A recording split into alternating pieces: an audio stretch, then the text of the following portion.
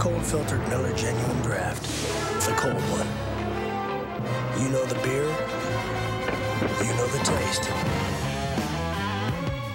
With Miller Genuine Draft, the world's a very cool place.